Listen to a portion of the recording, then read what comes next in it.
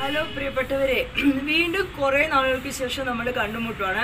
അപ്പം ഞാനൊരു പേഴ്സണാലിറ്റി ട്രേറ്റിനെ കുറിച്ചുള്ളൊരു അന്വേഷണത്തിലായിരുന്നു. അതായത് നമുക്ക് എല്ലാവർക്കും എപ്പോഴും നമ്മുടെ സമൂഹത്തിലായാലും വീട്ടിലായാലും ഇഷ്ടം ഇഷ്ടപ്പെടുക ഏത് തരത്തിലുള്ള പേഴ്സണാലിറ്റി ആയിരിക്കും?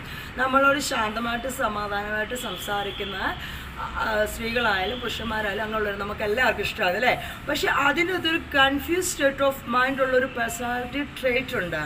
അത് സ്റ്റീസോ ഫിനിക് പേഴ്സണാലിറ്റി എന്ന് പറയും. ഇതിനിടയ്ക്ക് പറഞ്ഞോട്ടെ ഞാൻ ഇപ്പോഴും ചില മെഡിക്കേഷൻസ് ചെയ്യുന്ന കാരണം സംസാരിക്കുമ്പം കുറച്ച് പ്രശ്നമാണ്. നിങ്ങളങ്ങ് അന്ന് ബെയർ ചെയ്യുക ഓക്കെ അപ്പോൾ ഈ പേഴ്സണാലിറ്റിയുടെ പ്രത്യേകത എന്താണെന്ന് വെച്ച് കഴിഞ്ഞാൽ അവരെപ്പോഴും ഭയങ്കര ശാന്തമായിട്ടും ഒരു മാറ്റർ പഠിച്ച് ഭയങ്കരമായിട്ട് അതായത് നാച്ചുറലായിട്ടല്ല അവർ സംസാരിക്കുന്നത് നല്ല രീതിയിൽ അവർ വെളിയിൽ സംസാരിക്കും പെരുമാറും സ്ത്രീ ആയിക്കോട്ടെ പുരുഷനായിക്കോട്ടെ എല്ലാവർക്കും ഇമ്പ്രഷൻ തോന്നും.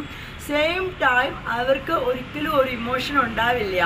അതായത് അവർക്കിപ്പോൾ വൈഫ് ആയിക്കോട്ടെ അല്ല ഹസ്ബൻഡ് ആയിക്കോട്ടെ കുട്ടികളായിക്കോട്ടെ അവർ ഭയങ്കര സ്നേഹം ഒക്കെ അതായത് സമൂഹത്തിൽ ഇപ്പം ബന്ധുക്കാർ വരുമ്പോഴോ എല്ലാവരും വരുമ്പോൾ കാണിക്കുന്നതായിട്ട് കാണും. പക്ഷെ ശരിക്കും അവരുടെ കൂട്ടത്ത് ജീവിക്കുന്ന ആൾക്കാർ മാത്രമാണ് സഫർ ചെയ്യുന്നത്. ഇത് ഒരു ഇമോഷൻ ഇല്ലാത്തൊരവസ്ഥ എന്ന് വെച്ച് കഴിഞ്ഞാൽ അവരവരെ കുറിച്ച് മാത്രം ചിന്തിക്കുകയും അവരിപ്പോൾ വെളിയിൽ ഒരു ബിസിനസ് മീറ്റിംഗ് ചെയ്യുന്നവരായിക്കോട്ടെ അവരെ ഇതിനെക്കുറിച്ച് അവരുടെ ബ്രെയിൻ ശരിക്കും നല്ല എക്സ്പാൻഡ് ചെയ്ത് വെളിയിൽ പോയി പ്രവർത്തിക്കുമ്പം വെളിയിലുള്ള ആൾക്കാർക്ക് ഒരിക്കലും മനസ്സിലാക്കാൻ പറ്റില്ല.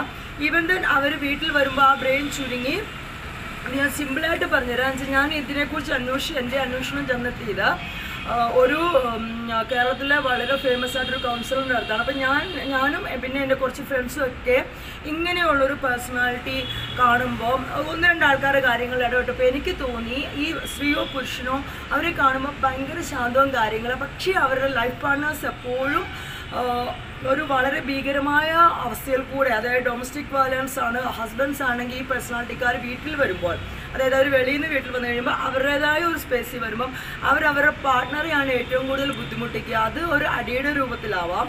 പിന്നെ ഈ പേഴ്സണാലിറ്റി എങ്ങനെയാണ് അവർക്ക് നമ്മളവർ ചലഞ്ച് ചെയ്യുക? അതായത് ഇപ്പം നമ്മൾ ശാന്തമായിട്ട് അവർ പറയുന്ന എന്ത് കാര്യങ്ങൾ അംഗീകരിക്കുമ്പോൾ അവർ നമ്മളോട്ട് ഒരു തരത്തിൽ കെട്ടിലും ചെയ്യും. പിന്നെ ഇങ്ങനെയുള്ള ലൈഫ് പാർട്ട്നേഴ്സിന്റെ ഏറ്റവും വലിയ പ്രത്യേകത ഇമോഷണൽ ബ്ലാക്ക് മെയിലിങ്ങും ഗെയിമിങ്ങും അതെന്താ എന്നറിയാമോ അവർ ചിലപ്പോൾ ഒരു പ്രശ്നം നമുക്ക് അത് സഹിക്കാൻ പറ്റില്ല എന്ന അവസ്ഥ വരുമ്പോൾ നമ്മളോട് ഒരു യൂസ് സാരമില്ല പിന്നെ അവർ കരഞ്ഞ് നമ്മളെ ഭയങ്കര സ്നേഹിക്കുന്നതായിട്ട് നമ്മളെ എവിടെയെങ്കിലും വീഴ്ത്തും. അല്ലേ അവർ ഗെയിമിങ് ദ സെൻസ് മെയിൻലി ലേഡീസാണ് ചെയ്യുന്നത് ഹസ്ബൻഡ്സിനോട് പറയും ഞാൻ ആത്മഹത്യ ചെയ്യും. അപ്പോൾ അങ്ങനെയൊക്കെ ആകുമ്പം നമ്മളെ സാധാരണ നോർമൽ സെൻസുള്ളതായിരിക്കും അവരുടെ പാർട്ട്നേഴ്സ് വേറൊരു കാര്യം കൂടി അവർ ചെയ്യും. അവർക്കുള്ള കുഴപ്പങ്ങൾ ശരിക്കും മാനിപ്പുലേറ്റ് ചെയ്യും. അതായത് നമ്മളോട് ഏറ്റവും അടുപ്പം ആരാണുള്ളത്? ചിലപ്പോൾ നമ്മുടെ പാരൻസോ സിസ്റ്റേഴ്സോ നമ്മുടെ ഫ്രണ്ട്സാണ് നമ്മൾ ഈ പ്രശ്നം ചെറുതായിട്ടൊന്ന് അവരോടൊന്ന് ഹിൻഡ് ചെയ്യുമ്പം ഇവരെന്തെടുക്കുന്നില്ല നിങ്ങൾ രണ്ട് വശവും കേട്ടില്ലല്ലോ എന്ന് പറഞ്ഞാൽ അല്ലെങ്കിൽ അവരെങ്ങനെയായാലും നമ്മുടെ അടുപ്പമുള്ള ആൾക്കാരോട് അടുത്ത് ഇവർ അപ്രോച്ച് ചെയ്യും. എന്നിട്ട് ഇവർ ഭയങ്കര ശാന്തമായിട്ടാണ്. അതായത് ഇവരെന്നറിയോ? ഇതിനെക്കുറിച്ച് പഠിക്കുകയാണ് ചെയ്യുന്നത്. ഇവരുടെ ഒരു അപാര ശാന്തതയാണ്. പിന്നെ ഇവർ മൊബൈലോ വേറെ കാര്യങ്ങളോ ഭയങ്കര ഒരു കാര്യത്തെക്കുറിച്ച് അതായത് നല്ല കാര്യങ്ങളെക്കുറിച്ചല്ല പഠിക്കുന്നത്. ഇവരിങ്ങനെ അതിനെക്കുറിച്ച് വർക്ക് ചെയ്ത് പഠിച്ചിട്ട് വന്നിട്ട് ഇവർ ഭയങ്കര ശാന്തമായിട്ട് അവരുടെ പങ്കാളിയെക്കുറിച്ച് ഇപ്പോൾ ആണുങ്ങളെക്കുറിച്ചാണ് പെണ്ണുങ്ങൾ പറയും. അയാൾ ഭയങ്കര എന്നുവെച്ചാൽ മോശം ക്യാരക്ടറാണ് എന്നുവെച്ചാൽ ഇവർക്ക് സസ്പെഷൻ ആയിരിക്കും. അല്ലെങ്കിൽ അയാൾ അടിച്ചതാത്ത് വെളിയിൽ പറയും നല്ല രീതിക്ക്. അപ്പോൾ സിമ്പതറ്റിക് വേൽ പറയുമ്പോൾ നമുക്ക് ആ ലേഡിയോട് സ്നേഹം കൂടും ആ ഹസ്ബൻഡിനോട് വെറുപ്പ് കൂടും. സെയിം ടൈം ഇതൊരു ആണിനാണ് ഈ പേഴ്സണാലിറ്റിയുടെ പ്രശ്നം വ്യക്തിത്വ വൈകല്യം ഉണ്ടെങ്കിൽ ഈ ആണിനെ അടുക്കും. നമ്മുടെ ഏറ്റവും അടുപ്പമുള്ള ആൾക്കാരോട് നമ്മളോട് പറയും വീട്ടിലൊരു ഇഷ്യൂ ഉണ്ടായിട്ട് പറയും നീ പറയണ്ട അത് നമുക്ക് സോർട്ട് ഔട്ട് ചെയ്യാം. ക്ഷമിച്ച് കളയാൻ വേണ്ടി ഇവർ ആ സെയിം ആൾക്കാരെ വിളിച്ചിട്ട് ഇവർ തന്നെ ഒരു സ്റ്റോറി ഇവർ തന്നെ ക്രിയേറ്റ് ചെയ്ത് ഭയങ്കര വെൽ പ്ലാൻഡ് ആയിട്ട് ഇവർ പറയുമ്പോൾ അവരുടെ കൂട്ടത്തുള്ള പാർട്ട്നേഴ്സ് ഇത് അറിയില്ല. ചിലപ്പം കുറച്ച് മാസം കഴിഞ്ഞിട്ടായിരിക്കും. പിന്നെ ഇവർ ഇങ്ങനെ ആ സമയത്ത് അവരുടെ ലൈഫ് പാർട്ട്നേഴ്സിന് എന്തെങ്കിലും കാര്യത്തിൽ ഉപദ്രവിക്കുകയാണെങ്കിൽ അത് ഭയങ്കര ബ്രൂട്ടലായിട്ടായിരിക്കും അപ്പം ആ സമയത്ത് കുട്ടികളോ ആരുണ്ടെങ്കിലും അവർക്കൊരു ഇമോഷൻസ് കുട്ടികളോടും ഇല്ല. കുറച്ച് കഴിഞ്ഞിട്ട് ആ വൈഫോ അല്ലെങ്കിൽ പിന്നെ അത് സെയിം ടൈം അതൊരു വൈഫിനാണെങ്കിൽ വൈഫ് ചിലപ്പോൾ ഹസ്ബൻഡിനെ അടിക്കില്ല ആ പ്രോണോള വൈഫ് അവർ ചിലപ്പോൾ ഉപദ്രവിക്കില്ല അവർ എന്നെ അടുക്കുന്നവരാ.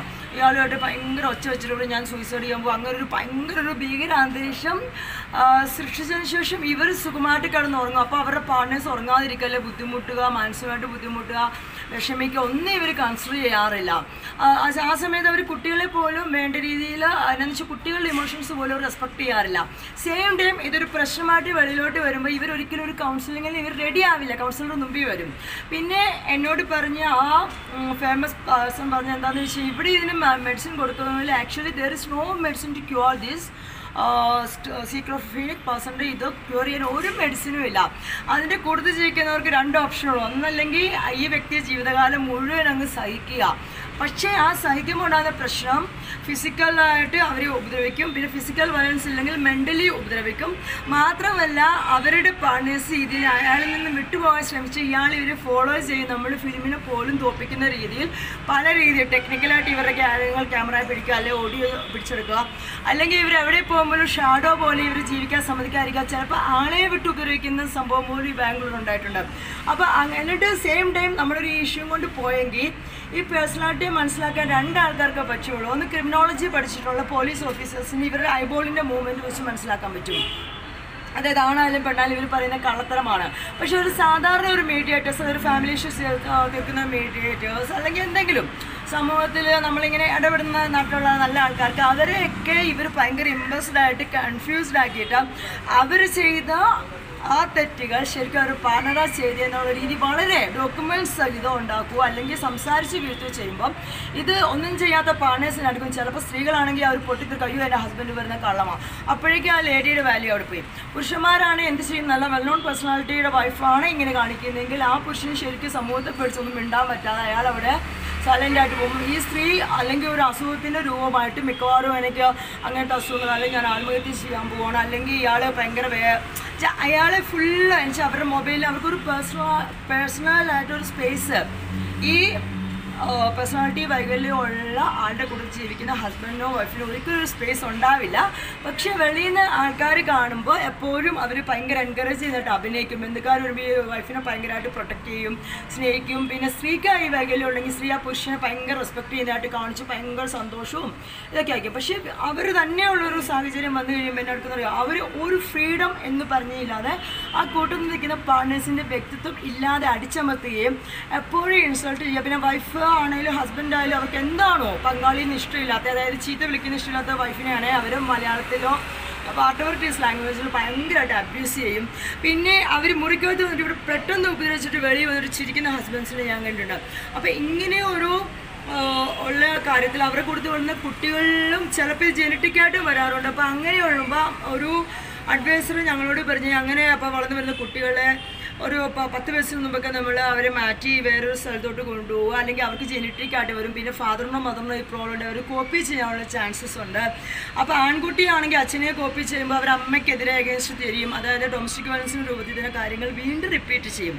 അപ്പോൾ ഞാൻ എല്ലാവരോടും പറയുന്നത് നിങ്ങളുടെ മകനോ മകളോ അല്ലെങ്കിൽ സഹോദരനോ സഹോദരിക്ക് ഇങ്ങനത്തെ ഒരു പങ്കാളി ഉണ്ടെങ്കിൽ നമ്മൾ എപ്പോഴും ഒരു കൗൺസിലിംഗ് കൊണ്ടോ മെഡിസിൻ കൊണ്ടോ ക്യൂർ ആകാതിരിക്കുമ്പോൾ ഒന്നല്ലെങ്കിൽ അവരെ പറഞ്ഞ് മനസ്സിലാക്കാൻ പറ്റില്ല. ഈ ഈ പേഴ്സണാലിറ്റി മേഖലകളിൽ ഒരിക്കലും നമുക്ക് ശരിയാക്കാൻ പറ്റാത്ത. അപ്പം നമ്മുടെ ആരാണോ അതിന്റെ ഇര അവരെ നമ്മൾ നല്ല എൻകറേജ് ചെയ്ത് പ്രൊട്ടക്റ്റ് ചെയ്ത് ജീവിതത്തിലേക്ക് തിരിച്ചു കൊണ്ടുവരാൻ മാത്രമേ ഇതിനകത്ത് സൊല്യൂഷനുള്ളൂ അപ്പം ഇത് പിന്നെ ഇവർ പറയുന്ന ഈ കള്ളത്തരങ്ങൾ വീണ്ടും വീണ്ടും എന്നാണെന്നറിയാമോ നമ്മൾ കേട്ട് കഴിയുമ്പോൾ നമ്മൾ അവർ ഇമ്പ്രസ് ആക്കാൻ വേണ്ടി വീണ്ടും നമ്മളോട് ഭയങ്കരമായിട്ട് സ്നേഹിച്ച് അപ്പോൾ ഒരു ഫോൺ വിളിക്കുക സംസാരിക്കാൻ രണ്ട് വർഷം പറയാമെന്ന് പിറകെ വരും.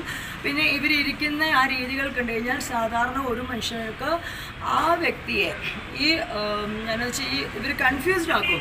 അതായത് ഇവർ ഇവർ വന്നിട്ട് പറയും ഇത് എന്റെ പാർട്ണർ ഭയങ്കര പ്രശ്നമാണ്. അവർ വീട്ടിലേക്ക് സമാധാനം തരില്ല. അതായത് ഈ പുരുഷനാണെങ്കിൽ ഇപ്പം വൈകലുണ്ടെങ്കിൽ അവർ വന്നിട്ട് പറയും.